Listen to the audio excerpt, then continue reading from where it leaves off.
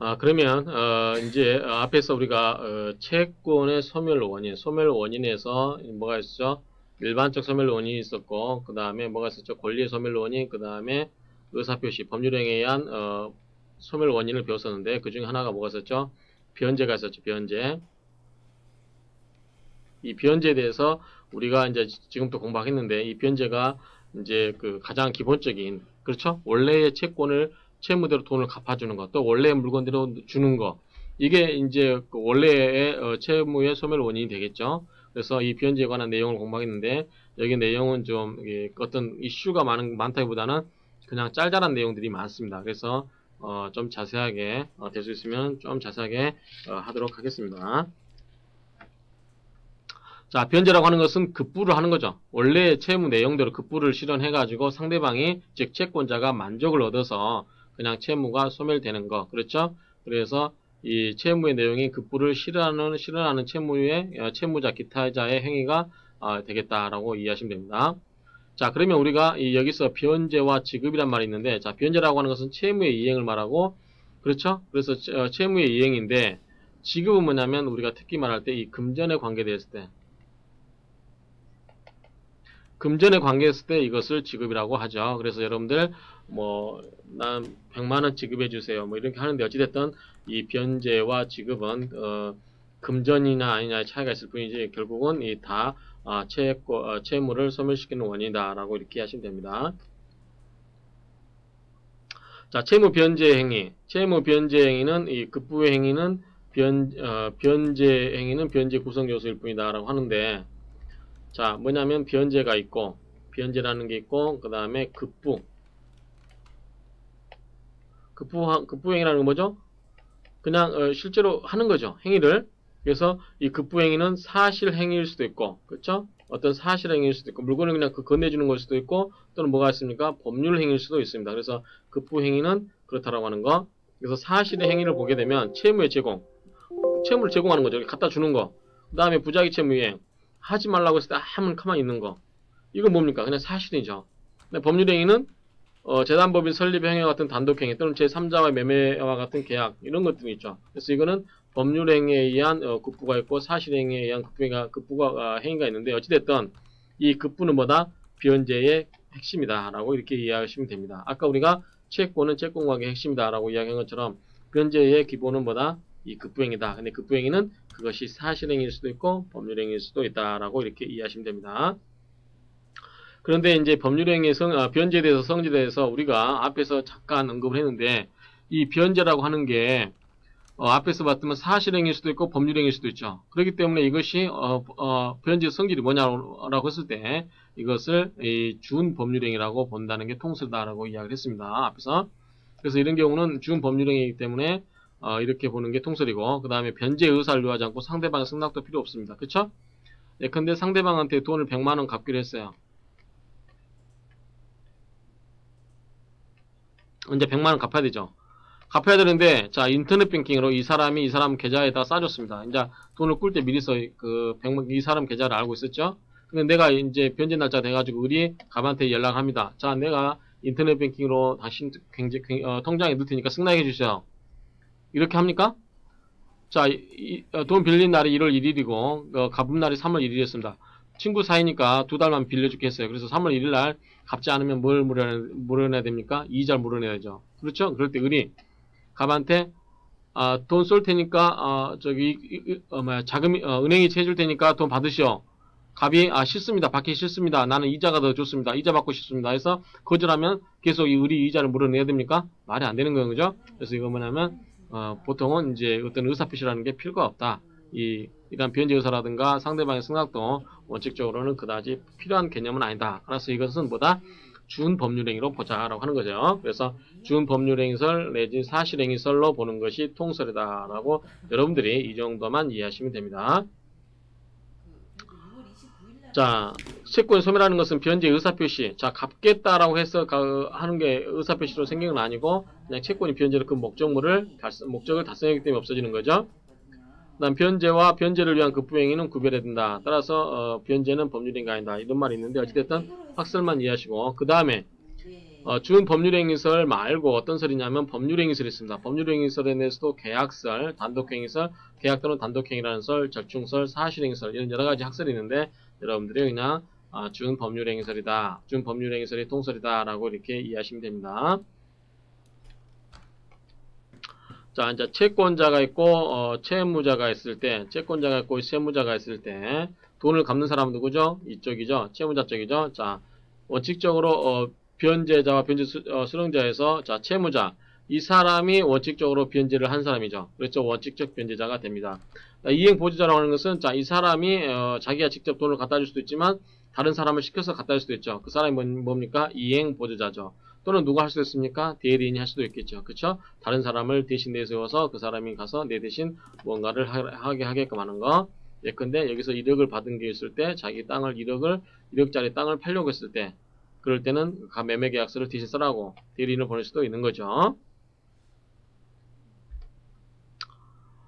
어, 여기죠. 법률행인 경우, 아까 이야기한 것처럼 급부가 법률행인 거, 가서 계약서 써야, 써야 된다니 그럴 경우는 대리에 의해서도 할 수 있다라고 하는 거죠. 자, 제3자의 변제. 어, 채권자가 있고, 채무자가 있을 때, 이 제, 어, 저기, 채무자, 이 채무자를 위해서 이 채권자한테 변제를 하는 경우에, 제3자가 이 사람이 변제를 해버리는 거예요. 자, 자, 이런 경우 있을 수 있죠? 자, 어, 내 어, 동생이 어떤 사람한테 빚을 100만 원 지고 있다.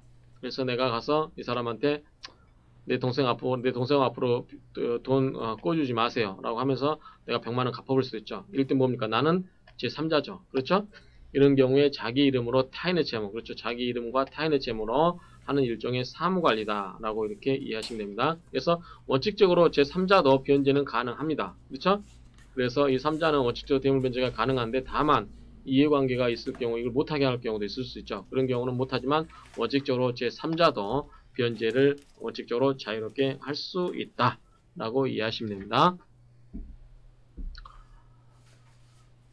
그러나 이 제3자가 채권자에 대해 가지는 채권으로서 채무자의 채무와 상기하는 것은 허용되지 않는다. 이게 무슨 말이냐면 자 갑이 갑이 어 저기 채권자가 채무자한테 돈 받을 게 100만 원 있죠.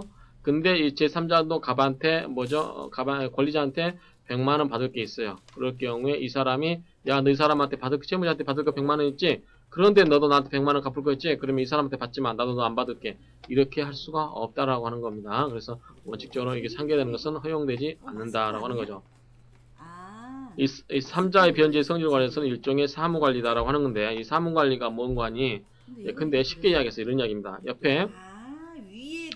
여러분들이 이제 이건 뭐냐면 채권 강론에 가면 다음 학기에 배울 수 있는 이 채권 강론에 가면 이 사무관리에서 나오는데 이제 법률상 해야 될 의무가 없는 사람이 어, 나 타인을 위해서 뭔가를 해주는 것 이러한 것을 다 썼어요, 사무관리다라고 이렇게만 간단하게 이해하시면 됩니다.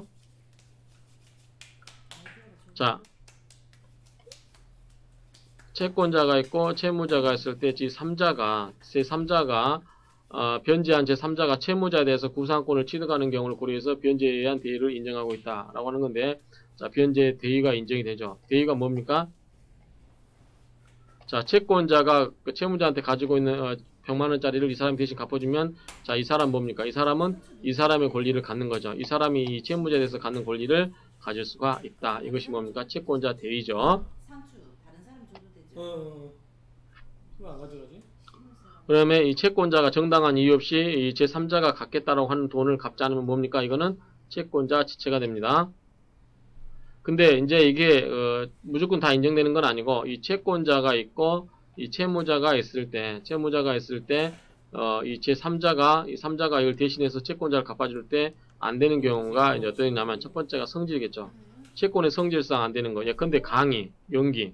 그렇죠? 네. 자, 제가 여러분한테 강의를 해줘야 될 의무가 있습니다. 그렇죠? 제가 이 나승성이가 여러분한테 강의를 해줘야 될 의무가 있는데 제가 워낙 강의를 잘하기 때문에 어, 제 3자 예컨대 법을 잘 모르는 사람 이 사람이 와서 대신 내 대신 강의 해 주겠다라고 했을 때 여러분 받아들이겠습니까? 안 받아주겠죠. 그렇죠? 그렇죠? 그래서 일신 전속적인 급부 그래서 이런 경우는 안 되겠지만 만약에 제가 강의를 해주겠다고 하는데 저보다 훨씬 어, 어, 능력이 있고 강의 잘하시는 분이 강의를 해주겠다 그럼 여러분들은 아마 쌍손 들고 박, 어, 박수 칠 겁니다. 그 배신행위죠 그거는 그런데 이런 경우는 이제 급 강의라든가 연기라든가 이런 것은 어, 가능하 어, 원칙적으로는 이 그 사람이 뭡니까 개성이 들어있는 거죠. 그래서 이 사람이 저하고 딱 동일한 강의를 할 수가 없는 거죠. 그 다음에 연기 이런 경우도 마찬가지인데 일반적으로 이제 어, 일신 정석적으로 봐서 이런 경우는 어, 대신 해줄 수 없다라고 이렇게 이해하시면 됩니다. 노무 수임인의 급부 자 이거는 어, 원칙은 안 되겠지만 가능하겠죠. 상대방이 동의를 하게 되면 자 제가 여러분한테 가서 여러분의 여러분 회사에 가서 제가 일해주기로 했습니다. 하루에 어, 한 달을 일해주기로 했습니다. 근데 한 달 일해주기로 했는데 만약에 어떤 사람이 와서 어, 코 질질 흘리는 사람이 와서 내 대신 와서 이 사람이 와서 어, 우리 나 교수님 대신에 내가 일을 해줄게요. 라고 했을 때 이 사람은 no 할 수 있죠. 근데 만약 이 사람이 그래 뭐 나교수 와서 보니까 몸도 약하게 생겨서 힘도 못 쓰게 생겼더라. 어차피 우리 박스를 나르는 일이 주인 주된 일이기 때문에 힘센 네가 와서 해주면 나 고맙지. 라고 해서 이 사람이 yes 할 수도 있죠. 그렇죠? 이런 경우는 가능하다라고 하는 거죠. 그래서 일신 전속을 어떻게 따지냐? 그 사람 정말 그 사람만 할 수 있는 거냐? 라고 하는 것은 어, 대체가 안 되기 때문에 어, 뭐죠? 대신 어, 대신 할 수 있는 대신 변제를 못 해주겠지만 그게 어느 정도 상대성을 갖고 있는 경우는 상대방이 yes 한 경우, 즉 동의한 경우는 가능하다라고 이렇게 봐야 된다라는 뜻입니다. 반대 의사 표시, 당사자 간에 반대 어, 표시를 해버린 경우. 그래서 제3자가 변제하기 전에 당사자가 너는 절대 네가 꼭 해야 돼. 다른 사람을 시키면 안 돼. 네가 너가 변제를 해야 돼라고 했을 때는 다른 사람이 할 수 없다라고 하는 거고. 그다음에 이해관계 없는 자. 자, 원칙적으로 이해관계 없는 자 제3자도 변제가 가능하다고 했습니다. 그렇죠? 고마운 일이죠. 제가 여러분한테 여러분들이 채권자고 여러분들이 채권자고 제가 여러분한테 돈을 100만 원 빌렸습니다. 너무 적게 빌렸나요? 1000만 원 빌렸다고 가정합시다. 근데 어떤 삼자가 와서 아, 우리 나 교수님 생활도 어렵고 그러니까 내가 대신 갚아줄게 하고 요 사업하시는 학우님 중에서 대신 딱 내 대신 갚아주겠다. 저야 고맙죠. 그렇죠? 이런 거야. 그래서 원칙적으로 제 3자에서 변제. 이 사람은 채권 천만 원을 받는 데 목적이 있는 거지 저를 괴롭히는 데 목적이 있는 게 아니죠. 그렇죠? 이 천만 원을 받는 게 목적인 거죠. 그래서 누가 갚든 간에 이런 것은 갚아주면 좋죠. 그렇지만 이해관계가 없는 경우는 이렇게 원칙적으로 저렇게 할 수 있지만 만약에 이, 이 사람하고 이해관계가 있다고 하면 가능하지만 이해관계가 없는 경우는 무조건 이런 걸 허용해주면 어떤 문제가 생기냐 이런 경우는 이제 제 자존심을 건드리는 경우도 있을 수 있죠. 그렇죠? 아주 뭐랄까 이 사람한테 이 사람이 아주 그 예쁜 여인이라고 합시다. 그래서 제 첫사랑인데 이 첫사랑이 어 저기 굉장히 잘 돼가지고 와가지고 어 너 돈 없지? 내가 돈 대신 천만 원 갚아줄게. 자존심 팍팍 긁을 수 있죠. 근데 첫사랑은 이해관계는 아니죠. 예컨대 나랑 연대 채무자라든가 내 어, 나의 보증인이라든가 그러면 이제 이해관계가 있지만 그렇지 않은 경우는 뭡니까? 나와 이해관계 없죠. 저희 자존심을 팍팍 건드는 겁니다. 그렇죠? 이럴 경우는 내가 노할 수 있다고 하는 거죠.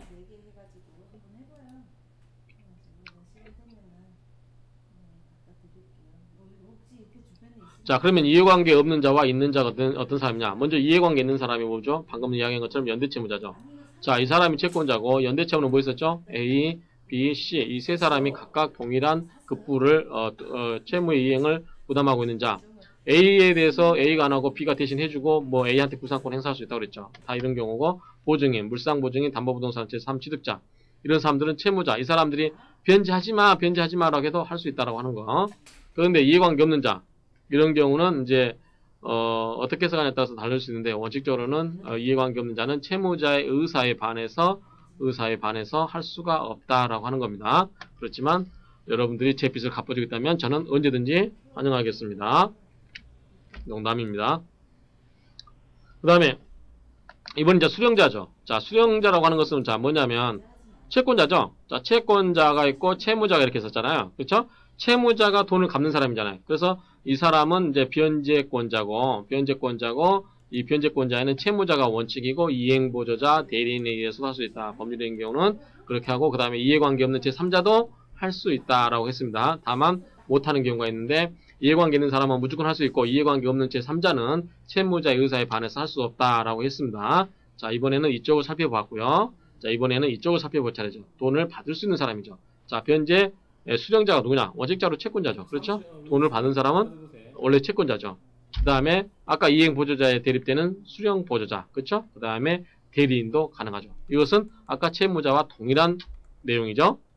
그래서 어, 동일한 내용이고, 근데 여기서 한 가지 재밌는 건 뭐냐면 채권자라 할지라도 이 채권자 뭡니까? 원칙적으로 돈을 받을 수 있는 사람이죠. 그럼에도 불구하고 이 채권자임에도 불구하고 수령 권한이 없는 경우가 있습니다.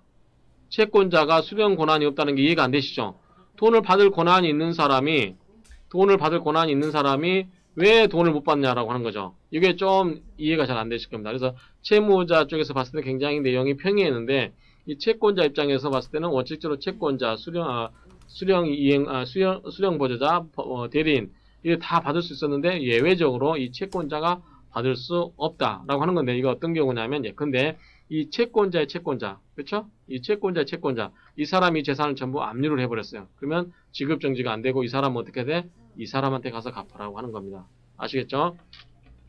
그럼 보도록 하겠습니다. 자, 수령 권한 없는 자는 압류, 입질, 파산 선고 받은 채권자라고 이렇게 돼 있죠. 그래서 다시 이야기합니다만 이 채권자가 있고 채권자가 있고 채무자가 있을 때 이 채무자가 원칙적으로 이 사람한테 갚아야 되나 이 사람이 채권자가 다시 이 사람 채권자에 대해서 뭡니까 압류를 해버리거나 어, 이 사람과 이 사람 합의해서 질권을 설정을 했어요. 그렇죠? 그런 경우 또 이 사람이 파산 선고를 받았어요. 그러면 파산 재단이 생기거든요. 그러면 파산 채권자가 나오는데 이런 경우에 어, 이 사람에 대해서 이 채무자가 이 사람이 이 사람한테 야 돈 이리 갖고 와라고 하는 거죠. 그런 경우에 돈은 어디로 간다? 이리 간다라고 하는 겁니다. 이리 가는 게 아니다. 이 사람한테 가면 안 된다라고 하는 거죠. 그래서 만약 이 사람이 이 사람한테 편지하면 어떻게 될까요? 예외적으로 어, 이 사람에 대해서 대항을 못 하는 거죠. 그렇죠? 이 사람한테 대항을 못 하고 내부적으로 알아서 해라 이거죠. 부당이득으로 반환을 받든지 어떻든 그러라라고 하는 게 기본적인 메커니즘이다라고 이렇게 이해하시면 됩니다. 자, 첫 번째. 자신의 채권자로부터 압류, 가압류를 당한 채권자. 그렇죠? 여기서 채권자가 이 사람을 압류를 해봤어. 이 사람 재산에 대해서. 그러면 채무자한테 야, 이리 주지 말고 이리 갖고 와. 그다음에 채권의 질권을 설정한 채권자. 그렇죠? 질권자. 이 사람이 이제 질권자가 되겠죠? 그러면 자기가 담보 어, 담보를 제공한 거기 때문에 이 사람이 권리를 행사할 수 없고 이 질권자가 권리를 행사한다라는 뜻이 되는 거죠. 그 다음에 어, 파산한 채권자 이 사람이 파산했어요 그러면 파산재단에 들어갑니다 그래서 이 사람이 파산재단에다가 내라라고 하는 겁니다 자 채권의 압류 채권의 압류는 자 채권자가 그의 채권자로부터 압류 가압류를 당한 때는 법원의 압류 명령이 있, 어, 있거나 압류 가압류를 당한 때는 제3자는 지급을 금지를 한다 자 입질은 뭡니까 아까 우리가 그 여러분들 물- 물권법에서 질권 배웠죠 그러한 것과 동일한 내용이죠 그 채권에다가 질권을 잡아버리는 거죠 그런 경우는 어, 제3 채무자가 어, 채권자에 변- 어, 대해서 변제해도 그 변제는 질권자에게 대항하지 못한다. 아까 이야기했습니다. 이렇게 권리자가 있고 채무자가 있을 때, 이 권리자가 있고 있을 때 이 관계에서 이 사람이 끝나고 이 사람으로 채권이 넘어간 경우는 이 사람은 이렇게 갚아야지 그냥 갖다 이렇게 갚아버렸다. 그렇다고 해서 어, 그런 경우는 이 사람에 대해서 대항을 하지 못한다. 갚아라 이 소리죠. 파산 이런 경우는 어, 파산 관제인에게 변제를 해야 된다고 하는 거죠. 아까 설명을 드렸기 때문에 넘어가도록 하겠습니다. 자, 이번에는 어, 표현 수령자. 이게 뭐냐면 뭐 이게 이제 변제는 아까 이야기했처럼 사실관계가 많이 나온다고 그랬죠. 그렇기 때문에 그다지 어려운 내용은 없습니다. 그래서 여러분들이 쉽게 어, 공부를 하실 수 있는데 그 대신 좀 짤짤한 내용이 많다고 제가 말씀드렸죠. 자, 이 채권자가 있고 이 채무자가 있습니다. 이렇게 했을 때, 자, 이 채권자가 있고 채무자가 있을 때 돈을 이렇게 어, 가- 갚는 거. 자, 이 채무자는 문제가 없어요. 제3자가 갚아도 됩니다. 오케이죠? 제3자가 빚 갚아준다는데 채무자가 기분 나쁠 일 없습니다. 다만 자존심만 안 건드리면 됩니다. 자존심을 건드리는 거 뭐라 그랬죠? 이해관계, 이해관계가 없는 제3자. 그 사람이 제 자존심만 안 건드리고 변제만 해주면 고맙죠. 그런데 여기서 뭐냐면 이 채권자는 뭐냐면 돈을 받을 수 있는 사람이죠. 받을 수 있는 사람인데 이 사람이 마치 뭡니까? 권리자가 아닌데 권리자인 것처럼 한 경우에 이 사람은 누구? 이 사람 뭡니까? 채무자는 그 사람한테 갚을 수가 있죠. 그렇죠? 자, 이 사람이 뭔가를 예컨대 그, 그 증표를 들고 있어요. 원래 채권자인데 이 사람이 증표를 안 들고 있고 A라는 사람이 이 갑이라는 사람이 증표를 보여주면서 그럽니다. 자, 이 채권은 나한테 온 거야. 가- 이 원래 권리자 채권자에서 나한테 온 거기 때문에 나한테 갚어. 라고 해서 갚았습니다. 근데 나중에 이 진짜 권리자가 야 너 왜 돈 안 갚아 이렇게 이야기 나올 수가 있겠죠. 그럴 경우에 가- 어, 이 채무자는 무슨 소리냐 네가 어, 써준 어, 저기 증표가 있어서 나는 그 사람한테 돈을 갚았다라고 이야기할 수가 있잖아요. 그렇죠? 그런 경우에 돈을 받는 쪽이기 때문에 뭡니까 이런 좀 그좀 이러한 법률 관계가 생길 수 있겠죠. 돈을 갚는데 뭐 나서서 갚아준 사람은 없겠잖아요. 그렇죠? 그렇기 때문에 돈을 받는 쪽에서 받는 사람 입장에서 봤을 때 이거를 이용해 가지고 어, 대신 돈을 받을 수 없는데도 불구하고 돈을 받을 수 있는 권한이 있는 것처럼 해가지고 돈을 받아서 챙겨서 토끼는 경우 그렇죠? 이런 경우가 생길 수 있다라고 하는 거죠. 그래서 지금부터는 그러한 내용을 보게 되겠습니다. 자, 표현이란 말 아시죠? 표현. 이거 표견으로 읽으시면 안 됩니다. 표견으로 읽으시면 안 되고 표현으로 읽으셔야 됩니다. 자, 이거는 뭡니까?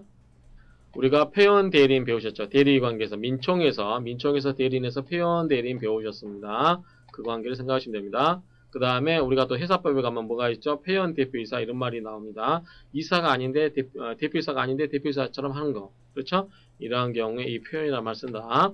자, 아닌데 그런 그런 것처럼 하는 거 이것을 표현이다 생각하시면 됩니다. 자, 법률의 규정, 채권자로부터 변제 수령 권한이 주어진 자, 대리인이라든가 관리인, 추심 어, 수임자, 채권 질권자, 채권자 대입권에 대한 변제는 유효하죠. 그래서 어, 법률의 규정에 의해서 아니면은 그 저기 채권자부터 어 저기 위임장을 받아가지고 그 사람이 어, 권리자임을 표시를 하면서 돈을 달라고 한 경우 그 사람한테 주는 거는 정당하다고 할 수 있는 거죠. 그런데 대리권을 갖고 있지 않아요. 대리권을 갖고 있지 않는데도 불구하고 약간 표현 대리의 요건을 갖춘 경우, 약간 이 표현 대리의 요건을 갖추고 있는 경우는 변제자는 그 사람 원래 권리자한테 변제를 하지 않고 이 표현 대리, 그러니까 즉 표현 대리에 의한 표현, 수령자 수령권자죠. 표현 수령권자한테다가 지급을 한 경우에도 변제를 한 경우도 뭐다 이거는 유효하다라고 하는 거죠. 그래서 그 사람이 어, 원래 돈을 받을 수 있는 사람이 아닌데도 불구하고 돈을 받을 수 있는 사람인 것처럼 한 이 표현 수령권자에다가 채무자가 변제했을 경우는 그 변제는 뭘로 본다? 유효하다. 누구를 위해서? 채무자를 위해서. 아시겠죠? 그러면 자 우리 민법에는 표현 수령권자를 어떠한 사람으로 예를 들고 있냐 자 채권의 준 점유자 이렇게 되어 있습니다 그러면 첫 번째 나오는 게 채권의 준 점유자인데 채권을 자- 그 저- 점유하고 있으면 그 사람이 권리자로 보는 거죠 근데 준 점유자도 되는데 자 거래 관념상 타인으로 하여금 채권자로 믿게 할 만한 외관을 가진 자 그쵸 두 번째 채권 증서를 점유하고 어, 반드시 있어야 되는 것은 아니다라고 하는 거죠 그래서 뭐 이런 것을 그 다음 채권을 이용하는 행위를 계속할 필요도 없고 근데 그거를 뭐다 어, 이 사람이 어, 권리자인 것처럼 외관을 보여준다라고 하는 거죠. 그 어떤 경우가 있냐면 채권 양도가 무효 또는 취소된 경우 채권의 사실상 양수인 그 다음에 표현 상속인 이런 말들 있죠. 자 한번 예를 들겠습니다. 채권 양도가 무효 또는 취소된 경우 하나만 예를 들겠습니다. 나머지는 여러분들이 이제 어, 그림을 하시거나 예, 이해를 하셔야 됩니다. 자 갑이 있습니다. 을한테 100만, 어, 을한테 100만 원을 꽂았습니다. 그쵸? 그런데 어, 이 사람이 갑한테 통지를 합니다. 우리 지명채권 대항 요건이 뭐였죠? 채무자에 대한 통지, 누가 양도인이, 그 다음에 어, 채무자의 승낙 이 두 가지 요건 중에 하나가 성립이 된다고 했죠. 그래서 갑이 을한테 뭡니까? 통지를 합니다. 내가 너한테 가진 돈 100만 원을 내가 돈 갚을 일이 있어서 병한테 양도하마. 앞으로 그러니까 누구한테 갚아라? 병한테 갚아라. 라고 이렇게 통지를 했어요. 그러면 을은 이제 병한테 갚으면 되는 거죠. 그런데 이게 계약이 취소됐어요. 어떤 원인에 있어서 취소됐습니다. 그럴 경우 뭡니까? 갑이 다시 권리를 행사해야 되겠죠. 근데 갑이 을한테 아무 말도 안 하고 있었어요. 그러한 틈을 이용해서 을이 이 사람한테 100만 원을 갚아버렸습니다. 이 사람 뭐예요? 권한이 없는 사람이죠. 그렇지만 뭐예요? 처음에는 권한이 있었지만 지금은 권한이 없는 거 아니에요. 이 관계가 깨졌기 때문에. 그러면 얼른 통지를 해줘야 되는데 통지를 안 했기 때문에 이 사람이 이 사람을 뭘로 본다? 정당한 권리자로 보는 거죠. 정당한 수령권자로 보고 이 사람한테 변제한 경우는 뭘로 보다? 이것은 채권의 준 점유자로 봐서 유한 변제가 된다라고 하는 거죠. 유한 아, 변제가 된다. 이렇게 이해하시면 됩니다. 그 다음 채권, 채권은 사실상 양수인. 그렇죠? 표현 상속인. 그 다음에 위조한 영수증을 제시하며 변제받은 자. 그 다음에 채권의 대리인으로서 본인을 위해서 채권을 행사한 자. 대리인, 어, 대리권을 보여주면서, 대리 서면을 보여주면서 내가 어, 채권자의 대리니까 나한테 해도 돼. 나를 믿어. 라고 하는 경우는 그게 정당한 어, 믿음이 있다고 하면 여러분들이 어, 변제한 것은 유효하다라고 하는 겁니다. 그 대신 변제자가 뭐입니까? 선해야 되죠. 과실이 없어야 되죠. 그쵸? 서, 어, 변제자가 아, 저 사람 사기치네. 내가 분명히 알고 있는데 저 사람 변, 변 수령권자가 아닌데도 불구하고 돈을 받으러 왔네. 라고 하면은 뭐예요? 안 줘야죠. 근데 그걸 알면서도 건네줬다. 그럼 뭡니까? 그 잘못은 누가 지는 거죠? 자기가 지는 거죠. 그래서 이 선이라고 하는 것은 적극적으로 수령 권한이 있다고 믿었어야 된다라고 하는 거고 무과실은 이 선인에 대해서 과실이 없어야 된다라고 하는 거죠. 자, 채권의 준 점유자에 대한 변제 효과는 확정적이다. 이 확정적이라는 게 무슨 말입니까? 채권이 소멸되고 채무자는 채무를 면한다라고 하는 거죠. 아까 예를 들겠습니다. 자, 갑이, 어, 갑이 을한테 100만원을 꽂았는데, 갑이 채권장도 병한테 한다고 해가지고, 을이 100만원을 이쪽으로 변제를 했습니다. 그러면 이 관계가 어떻게 될까요? 이 관계가 끝나는 거지, 이제. 그래서 을은 뭡니까? 더 이상 채무를 지지 않습니다. 그러면은 이 사람은 빠지고, 이 사람과 이 사람과의 문제가 생기겠죠. 그러면 뭡니까? 갑은 병한테, 야, 너 받은 거 아무 이유 없이 돈 받은 거지? 부당이득으로 내놔, 나한테. 이렇게 해서 갑, 병한테 받아야지, 갑이 을한테, 야, 너 병한테 달라고 해서 나한테 다시 줘. 이렇게 할 수가 없다라고 하는 거죠. 그래서 이 채권을 주는 점유자는 변제는 뭐냐면 이 관계가 뭐다? 어, 유- 변제가 어, 이루어진 걸로 보기 때문에 원래의 변제는 뭐나, 뭐 한다? 끝났다. 그래서 채권이 소멸되고 채무자는 채무를 면하게 된다라는 뜻이 됩니다. 그래서 준 점유자에 대한 선의 변제의 경우 변제자 즉 채무자는 채무를 면하고 자 이 사람입니다. 을은 채무를 면하고 채권 소멸함으로 변제자는 이 변제자는 준 점유자에 대해는 변제한 것에 반환을 청구하지 못한다. 다시 내놔 이렇게 할 수 없다라고 하는 거죠. 끝나는 거죠. 진정한 채권자 자 갑이죠. 진정한 채권자는 뭡니까? 수령자에 대해서 부당이득의 반환 청구권을 행사해서 야 너 돈 내놔. 내가 이한테 받을 거를 네가 받은 거니까 아무 이유 없이 받은 거니까 나한테 내놔 이렇게 할 수 있다라는 거죠. 준 점유자에 대한 변제가 준 점유자에 대한 변제가 무효인 경우 자 이것이 무효가 된 경우 그런 경우 채권자 채무자 관계는 뭡니까? 채권은 소멸하지 않으므로 채무자가 진정한 채무자에게 다시 변제를 해라 라고 하는 거죠.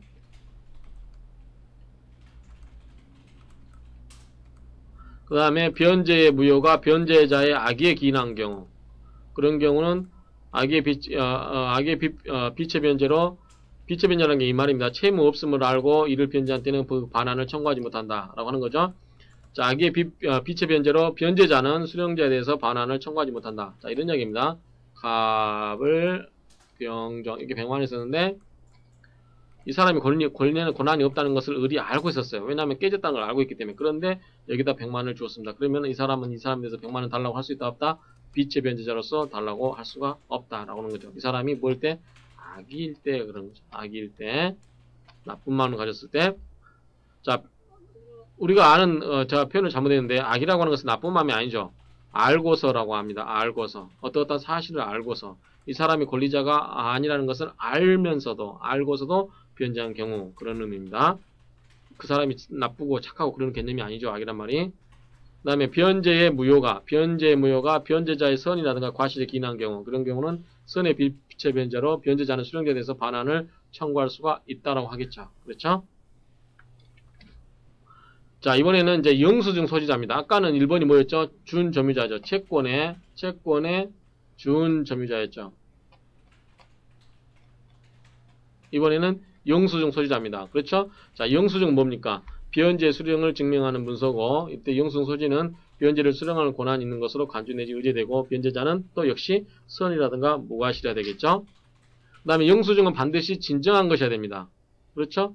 진정한 것이어야 돼. 훔쳤던, 훔쳤던 어쨌든 간에 그 영수증은 반드시 진정한 것이어야 됩니다. 그래서 이 그 그러한 문제가 있고요. 영수증이 위조된 경우 이거는 채권의 준 점유자에 대한 변제로서 구제할 수 있기 때문에 영수증의 문제를 해결할 것은 아니다라고 하는 거죠. 그렇죠? 영수증에 위조한 것은 뭐다? 영수증에 위조한 것은 우리가 470조가 뭡니까? 준 점유자에 대한 변제했죠? 471조가 뭡니까? 영수증 소지자에 대한 변제거든요. 그렇기 때문에 영수증이 가짜면 이걸로 처리할 수 있기 때문에 이걸로 처리 안 해도 되니까 이때 영수증은 뭐다? 반드시 진정한 것이어야 된다라는 뜻입니다.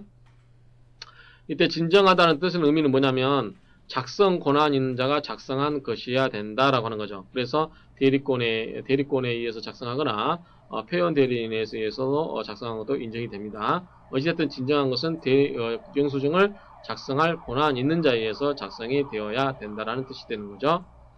그 다음에 영수, 영수증이 진정한 것이면 되기 때문에 그 소진이 이를 입수한 이유를 묻지 않는다. 따라서 절취, 습득한 것이라도 상관이 없습니다. 그래서 그 영수증을 들고 있으면 그 영수증이 작성자에 의해서 작성이 되었다고 하면 그 영수증을 훔친 사람에 대해서도 변제를 하더라도 그 변제는 뭐다? 유효한 게 된다라고 하는 거죠. 다만 근데 그 영수증이 위조다라고 하면 그것은 471조에 의한 변제로 하는 게 아니고 뭘 본다? 채권의 준 점유자에 대한 변제로 봐서 그 요건에 합당한 경우에만 변제로 본다라는 뜻이 됩니다.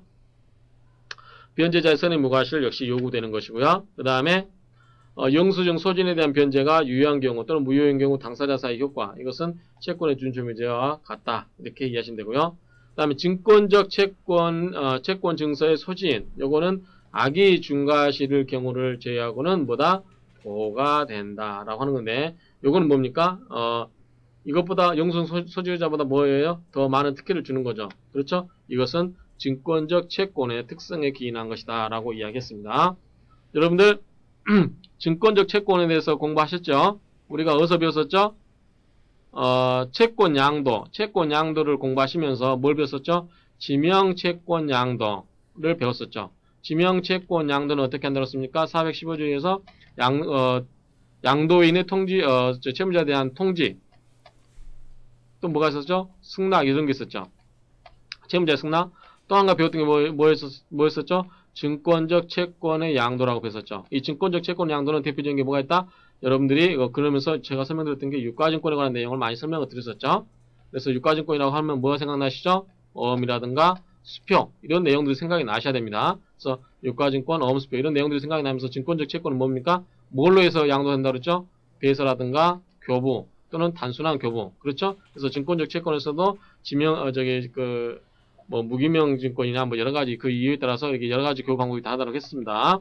이 내용은 뭡니까? 이것은 뭘 목적으로 한다고 했죠? 유통을 목적으로 한다고 했습니다. 그렇죠? 지급의 수단으로서 유통의 목적으로 하기 때문에 쉽게 쉽게 많이 돌아다닐 수 있게끔 해줘야 된다라고 이야기를 했습니다. 따라서 그러한 경우에는 유통을 차단하는 어, 차단하기 차단하는 것을 억제시키고 있다. 그래서 항변의 자인이 생긴다든지 여러 가지가 인정이 됐죠. 그렇기 때문에 이런 경우는 그 사람의 악의 중과실을 제하고는 원칙적으로 보호를 하자. 뭘 위해서? 유통성을 보호하기 위해서 라고 이렇게 결론을 내리실 수가 있습니다.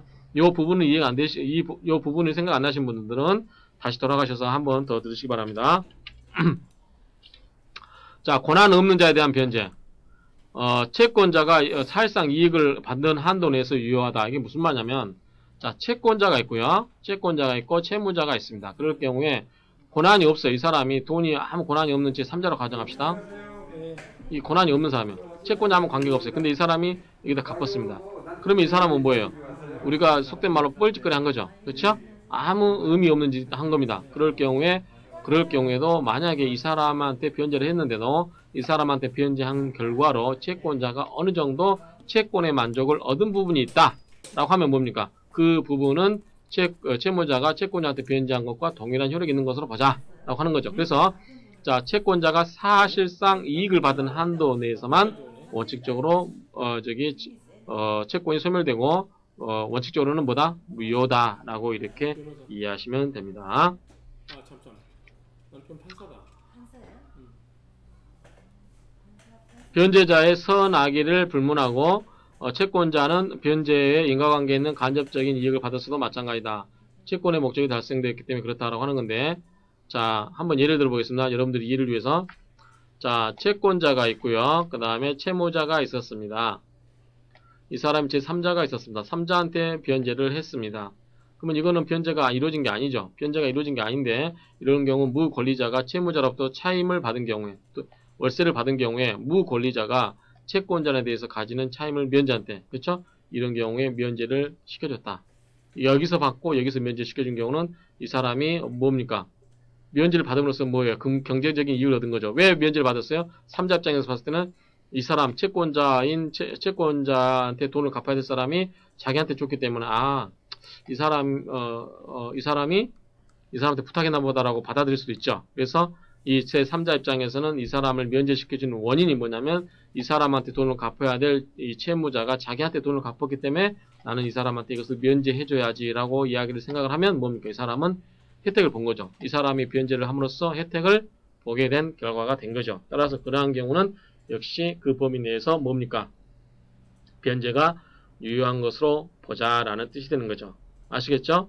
그래서 이거는 어, 그렇게 이해하시면 되겠습니다. 그래서 이번 시간에는 이제 변제의 일반적인 의의와 그 다음에 변제 어, 그 주는 자, 변제 제공자와 변제 수령자에 대해서 살펴보았습니다. 그럼 잠시 쉬었다가 계속해서 어, 변제의 다른 부분을 또 보도록 하겠습니다.